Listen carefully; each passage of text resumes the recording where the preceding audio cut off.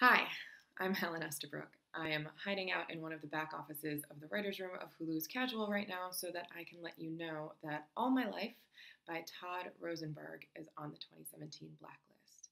It's the story of a man who discovers he has liver cancer, and so the couple moves up their wedding date so they can get married before he passes away.